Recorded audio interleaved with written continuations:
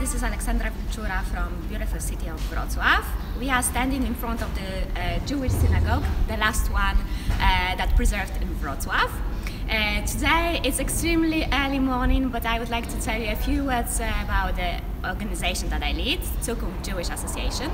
Cukunft in Yiddish means future.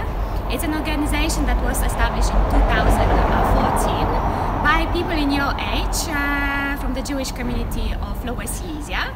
Uh, we are working mainly on uh, future of our community in a non-Jewish environment.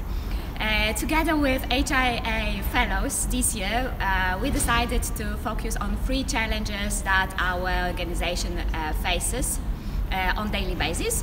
First one is um, dealing with preserving the Jewish past, the Jewish heritage in non-Jewish environment in Wrocław, in Lower Silesia and Poland. It's very difficult because our community is very tiny and um, mostly uh, with old people that cannot take uh, care of uh, the heritage that we have here in Poland.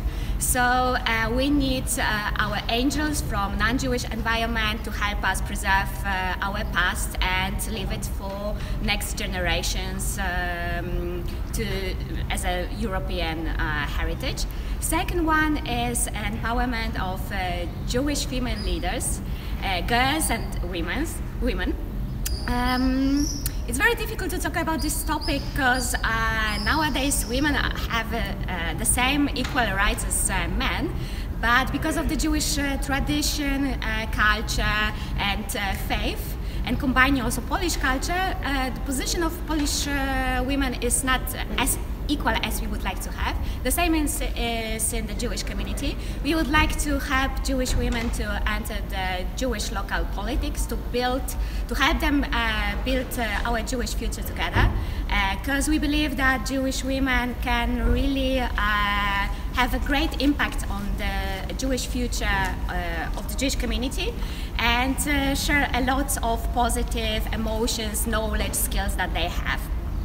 The third one is um, the challenge uh, of preserving the Jewish past in non-Jewish environment. We uh, were working for this uh, particular challenge for last two years. Um, cooperating also with uh, Humanity in Action, it was extremely ex um, successful project, and we want to extend it for uh, years to come. Um, and uh, I'm extremely happy that uh, this particular challenge was chosen by HIA uh, fellows this year. Uh, we uh, were working on uh, the Lower Silesian Festival of Jewish Culture. It's a second edition that takes place in small Jewish uh, communities around Lower Silesia. We are organizing workshops, lectures, exhibitions, concerts, um, devoted to the Jewish culture. But it's not only about the past, but it's also about building a Jewish future. And uh, thanks to uh, Humanity in Action and DCA Fellows, uh, you have an occasion to, to see how this cooperation looks like. Uh, guys, the floor is yours.